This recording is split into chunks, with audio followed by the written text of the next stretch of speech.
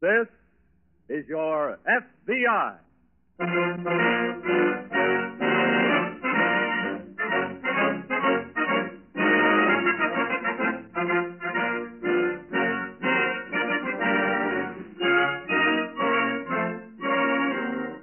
This is your FBI, an official broadcast from the files of the Federal Bureau of Investigation, presented as a public service by the Equitable Life Assurance Society of the United States.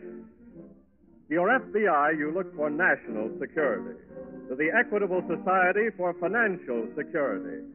These two great institutions are dedicated to the protection of you, your home, and your country.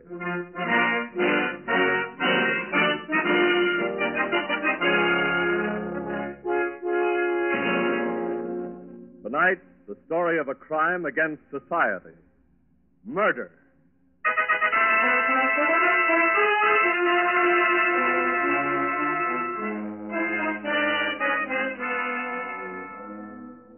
In the crime mad era of the 1920s and early 30s, state boundaries proved havens for the gangster criminals who plagued the nation.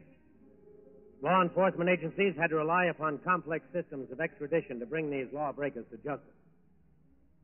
But since 1934, since Congress gave the FBI jurisdiction to track down these fugitives, pursue them across state borders, this type of roving criminal has almost disappeared.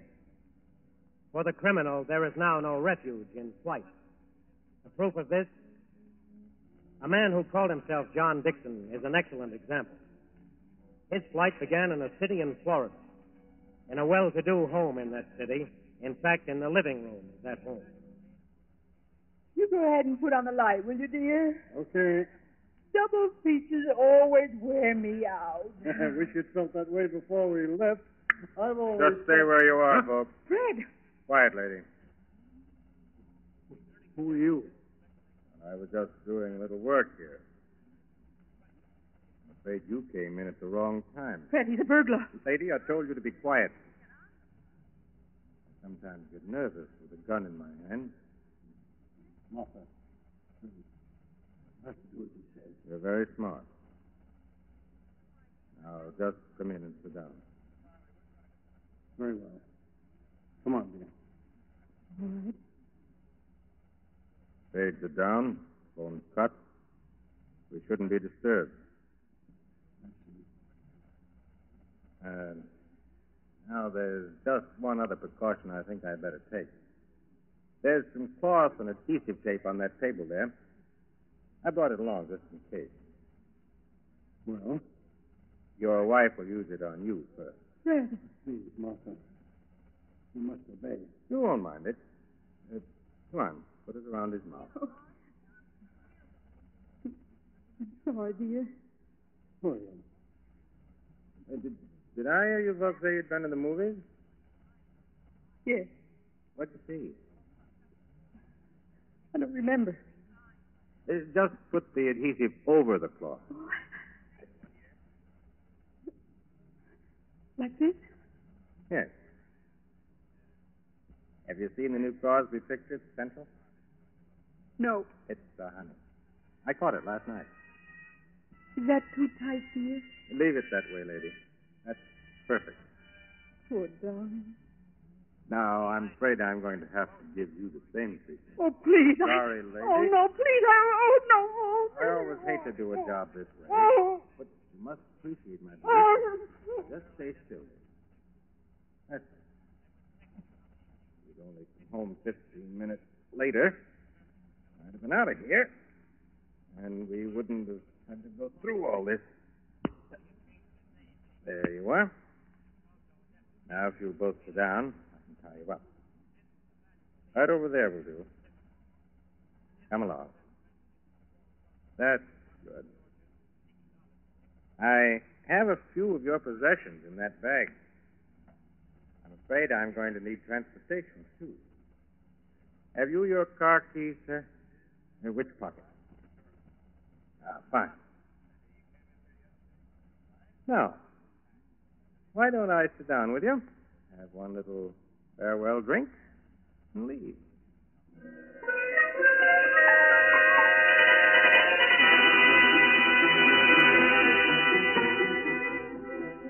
With the crime committed, the criminal's flight begins. It's a casual flight at first. He feels secure in the knowledge that his victims are helpless, that they cannot report him for many hours. So he drives north in their car, drives on the main highway, drives to a refreshment stand on the outskirts of town. Good evening. Oh, hi, Mac. Can I get something to eat? Sure. How about a hamburger? Sorry, Mac. Meatless day. Oh, Cheeseburger? fine. Huh? I said fine. That's what I thought you said. I just ain't used to hearing it anymore. Uh, everybody's got complaints. All they do is beat. All the time, beat. Who owns that Buick sedan over there? Oh, it, that's yours, ain't it, Mac? Yes. Why? Can I see your registration? Of course. It's in the car. Uh, come on, I'll get it for you. Okay. Is there any trouble, officer? Yeah. This car was reported stolen. Well, it must be a mistake. I've been driving it all day. I still want to see the registration. Really? It's in the glove compartment here. Here we are. Hey, what happened? Cancel my order, Mac.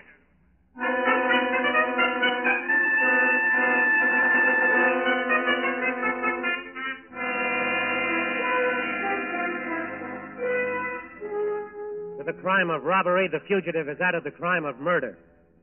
The two shots killed the policeman who sought to question him regarding the ownership of the car. The flight is not so casual now. John Dixon abandoned the stolen car and hurriedly went to a nightclub on the outskirts of the city. Hello. Hmm? Hello. Oh, hiya, honey. When'd you come in? Just now. Kind of late, aren't you? I just came out to see you. Oh, I'm not singing any more tonight, baby. In fact, I was just on my way home. Well, maybe we can stop off for a bite to eat someplace, huh? Yeah, guess that'd be okay. Fine. Uh, you have a car, don't you? Yeah, don't you? Not with me. A fellow of mine dropped me off here. Well, we can use mine. Ready now? Sure. Let's go then. Say, you know something awful. What? I forgot your name. Johnny Dixon. Oh, sure. I should have remembered that, but so many fellows come out here and all. I just. I understand. Go ahead. I'm parked right over here. Okay. Gee, what a night. Yes. Beautiful. You from around here? No, I'm from up north. Oh, sure. You told me that last night, didn't you? Yes, I believe I did. So many fellows tell you so many stories and all. You know. I understand. Here we are. You want to drive? I'd rather not. Okay, hop in. Thanks. Reason I asked you was so many fellows like to drive and all. I guess I'm the exception. You can say that again. Now, where to? I'd suggest that you drive north. But there's some good eating places I, up on. you drive north. Do as I say. Not just a minute. Look, honey, do you see this gun? Hey. I killed a cop with it a little while ago. So be a good girl and drive north.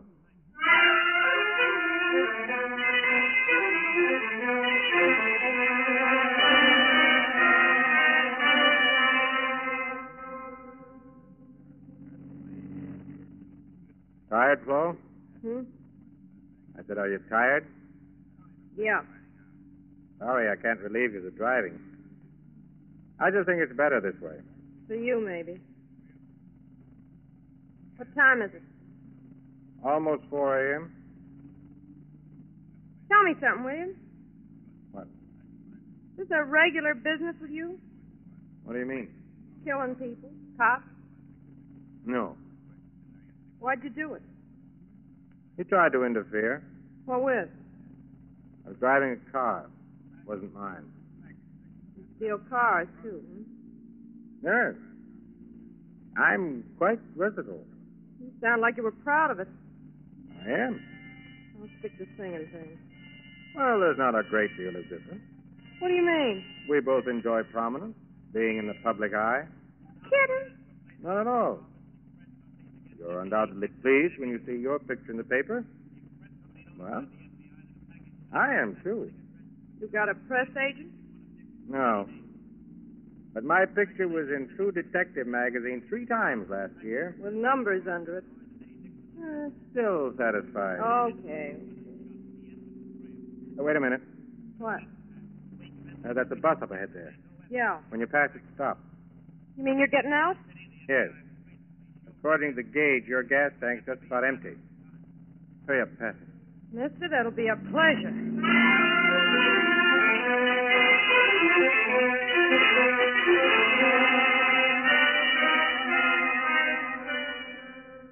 John Dixon left his car, left his unwilling companion after crossing the state line into Georgia.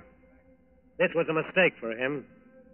A costly mistake, for he was now under the jurisdiction of the FBI, as are any and all criminals who cross state lines to avoid prosecution. Exactly one hour after Dixon left the nightclub singer, she was telling her story to special agents of the FBI. Did you see this bus, Miss Harvey? Yeah, sure. Can you describe it? Well, it was an interstate bus. Was there any sign on it telling where it was bound? I didn't see any. It was heading north, though. And this was a little after 4 a.m. That's right. Now, I'll check with the bus terminal here, see what they can give us. All right, Nick. He sure had plenty of nerve. How did you meet him? Oh, he'd come into the club a couple times. Do you recall who introduced you to him? Nobody, really. In my line of work, you meet so many fellas and all. Did he seem to know anyone else in the club? No, I don't think so. Had you ever been out with him before? No, The name he gave you was John Dixon. that's right. Probably an alias. I wish I could describe him for you better, but like I said before, he looks just like a hundred other guys. That's the same report we received from the couple whose home he robbed. Did they give you anything? Yes, a good deal. That bus was bound for Savannah. Are you sure? Yes, and it's an express. Doesn't make any stops. Oh, that's a break. How do you mean? We're going up to the Savannah field office tonight. We have tickets on a plane that leaves here in exactly 15 minutes. No kidding. We'll teletype a report ahead, but it's just possible that we might reach Savannah in time to meet Mr. Dixon in person.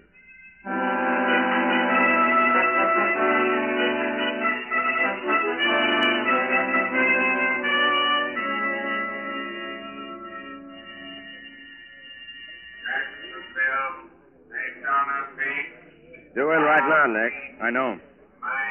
I wish we had more to go on. His description, I mean. Well, if he flagged the bus down on the highway, the driver should record.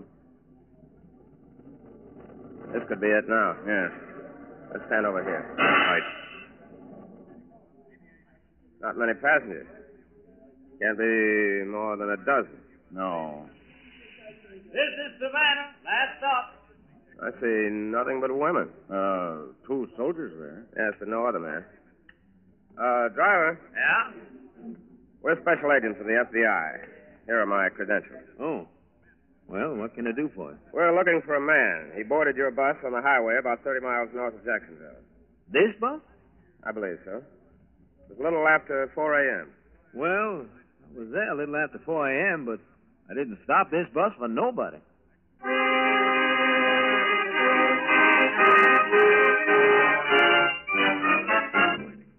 We momentarily close the Federal Bureau of Investigation file on John Dixon, murderer.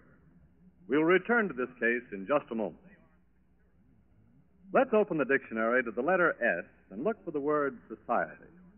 Let's see. S O S O C. Oh, yes, here it is. Society. And the dictionary says that society means a voluntary association of individuals for common purposes. Well, that certainly describes the Equitable Life Assurance Society of the United States. The Equitable Society is a voluntary association of 3,200,000 men and women. The idea that led this group to get together is very simple. We of the Equitable Society believe that 3,200,000 pairs of shoulders are a lot broader than one pair.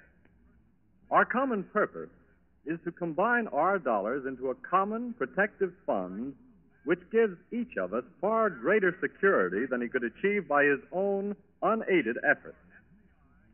In our dealings with the Equitable, we members receive the friendly service and personal attention that the word society implies. Moreover, since we are the sole owners of our society, we know that equitable funds are at work for our benefit. And because the Equitable Society's investments cover America, they are at work for our fellow citizens, too. By serving its members, the Equitable Society serves America. And now, back to the file on John Dixon, murderer.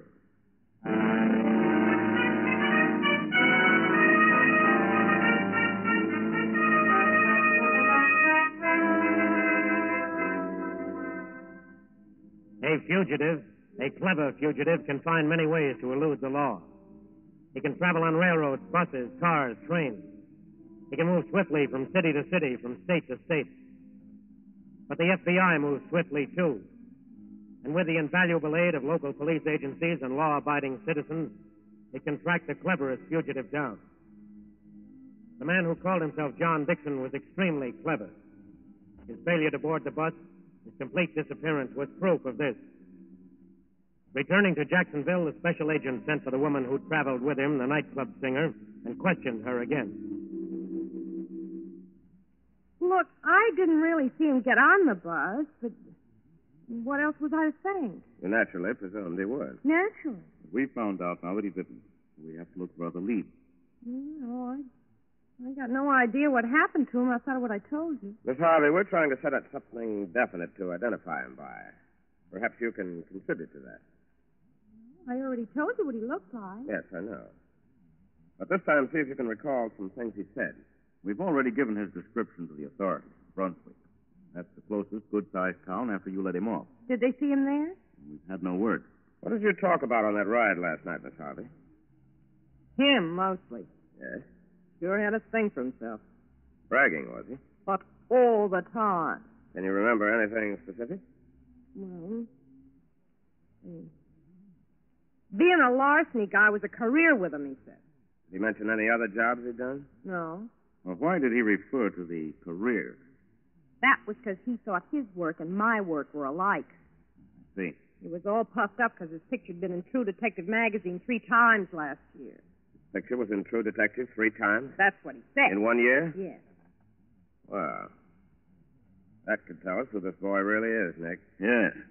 See if we can get back copies of that magazine. Miss Harvey is going to help us do a little research.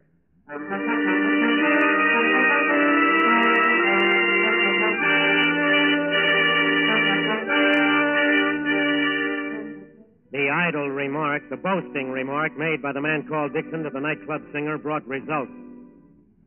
In copies of the detective magazine, one man's picture did appear in three issues. The girl identified him as Dixon. There was text accompanying these pictures, text that saved the FBI agents much time in determining the killer's true identity. They learned that his criminal record was a long and vicious one, that he had changed his name many times, that he was also adept at changing his complete identity.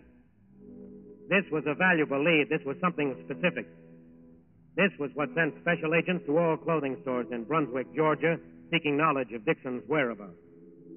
Finally, in one store, Uh, let's see that picture again. Surely. There you are. Yeah, that's the fellow, all right. You're sure of that? Yeah, positive. And he came in here yesterday? That's right. Around noontime. What did he buy? Uh, blue suit, and brown felt hat, and oh yes, a top coat. Can you describe the coat? There's a brown tweed, uh, just like that one hanging on the rack there. And what did he do with the clothes he was wearing? I took them with him. Uh, had me wrap them up for him. I see. He said he wanted them wrapped for mailing. Did he say where to? No. And I had no mind to ask him questions. Why not? Well, I noticed when he rolled his clothes up for packing that he put a gun in the bundle, too.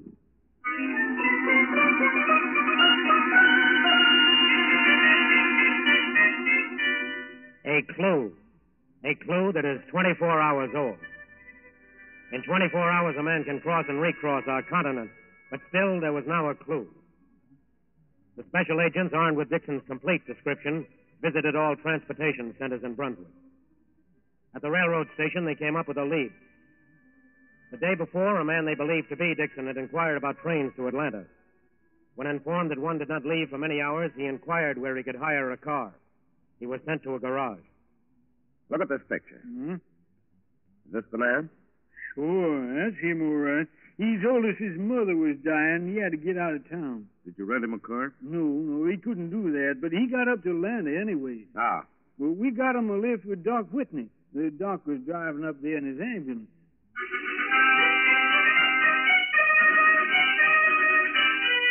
Sure, I remember him. He was a pleasant enough fellow. And you drove him right here to Atlanta. Oh, I drove him right to the airport. Where was he bound for? Chicago. How do you know? Well, I put him on board the plane.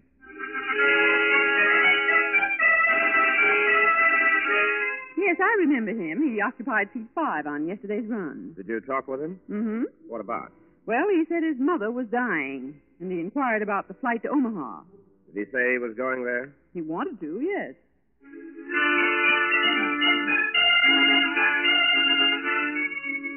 I, sold the ticket to a man yesterday. He looked like that picture, all right. He went to Omaha? Yeah, on the 9 o'clock flight. Did he say his mother was dying?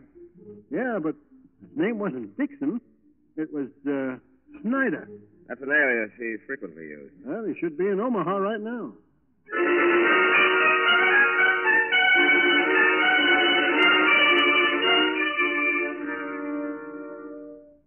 That's the story, Mr. Bryant. He arrived here in Omaha late last night. Yes, he was on the 1235 flight. Any report on him at the airport? He took a taxi into the center of town. How do you know? We contacted a soldier who was on the plane. Yes. The soldier reported that he'd ordered a cab. He'd sent word ahead to have it waiting. Yes. When he got into it, a civilian climbed in after him. In his description, it had to be Dixon.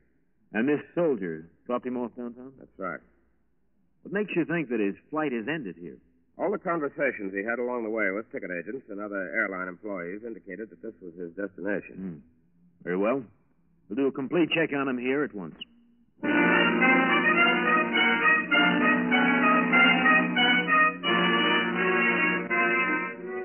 In Washington, Director Hoover instructed that no effort should be spared to locate Dixon and bring him to justice. Constant checks were made at the airport, railway, and bus stations, but no further information was developed. Special agents visited hotels, tourist camps, and boarding houses in an attempt to pick up the trail. It appeared quite likely that Dixon had stopped his desperate flight in Omaha and was somewhere in the vicinity. Relentlessly, the investigation continued. A double check was made at communication centers. Long distance toll calls were examined. Dixon's photograph was shown to Pullman conductors, beer tavern operators. A crew of agents made regular rounds of nightclubs, but no trace of him was found. Once more, Dixon had completely disappeared. Just a dead end, Nick. I know. We could only uncover something. Barrett's kind of a lead. You're still convinced that he's here in Omaha? Yes, everything points to this being his destination. Mm, that's true. I don't even think he's hiding out. You can't suspect it we're this close. Oh, excuse me. Warren speaking. Oh, yes, Frank. Yes, I see. Now, when was this? You'll have the place covered. Good. Thanks. Goodbye. Well, there's the lead you wanted, Roy. What? A waitress in the coffee shop at the Rome Hotel identified a picture of Dixon. Really? Had breakfast in there yesterday morning. I see. Someone's going to cover the place from now on. Nick. Yes. I just remembered. What? The package. The package Dixon had wrapped for mailing in Brunswick. Yes? If this is his last stop, he could have had it sent here. Yes. Let's cover the post office and express companies at once.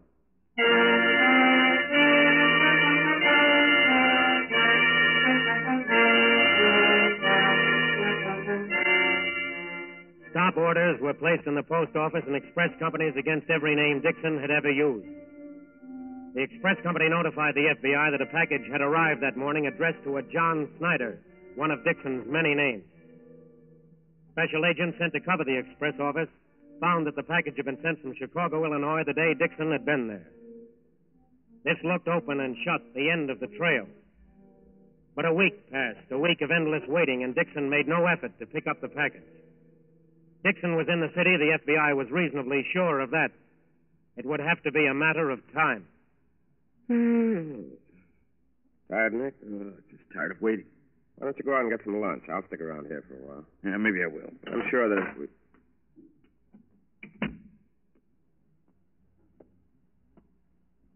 How do you do? Hello? I wonder if you have a package here for me, please. Uh, what's the name? Snyder. John Snyder. I'll see. This is it. Yeah, come on. Dixon. What? That's your name, isn't it? No, I'm sorry. Uh, there's a package here for you, Mr. Snyder. Thank you. Uh, just a minute. Look, I told you my name wasn't Dixon. You're wasting your time. Who are you? We're special agents for the FBI. What do you want with me? We'd like to talk to you about Florida. I've never been there. In fact, I. Hold it. Let go of me. Oh, no. There. I just remembered. We heard there was a gun in that package. Would you pick it up, please, Nick? Right. Come on, Dixon.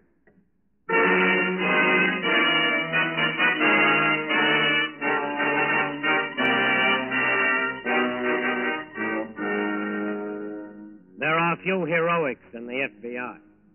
They depend on superior brain power, manpower, and firepower. They will never rest in their crusade to make crime an unprofitable business. No clue is too obscure, no time too long, no detail too small for their attention. Their entire resources are available at all times to all local law enforcement agencies and to you, the law abiding citizen. This combination cannot be beaten. Many have tried it. To date, few have succeeded.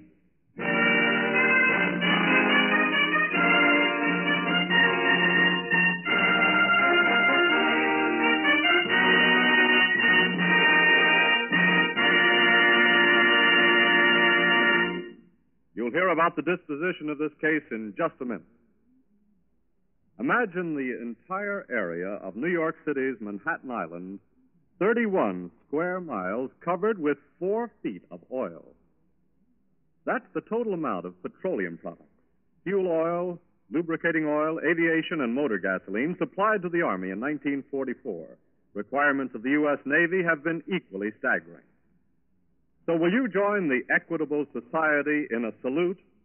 A salute to the men of the petroleum industry. By working this miracle of war production, they have proved that no job is too difficult for the men and women of America and for the system of free enterprise that flourishes in America.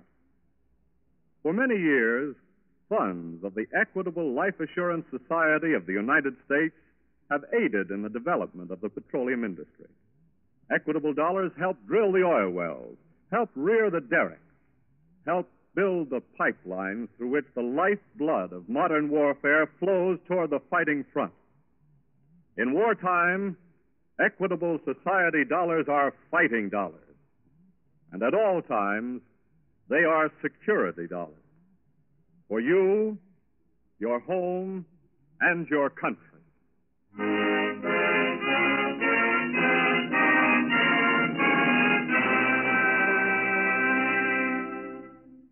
Dixon, returned to Florida and turned over to local authorities, was convicted of murder in the first degree without recommendation for mercy.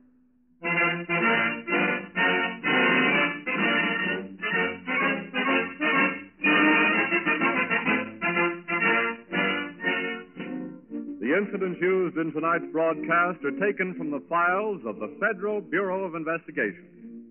However, all names used are fictitious, and any similarity thereof to the names of persons living or dead is accidental. Tonight, the music was under the direction of Van Cleave. Your narrator was Frank Lovejoy. This is Your FBI is a Jerry Devine production. Now, this is Carl Frank speaking for the Equitable Life Assurance Society of the United States and inviting you to tune in again next week at this same time for This is Your FBI.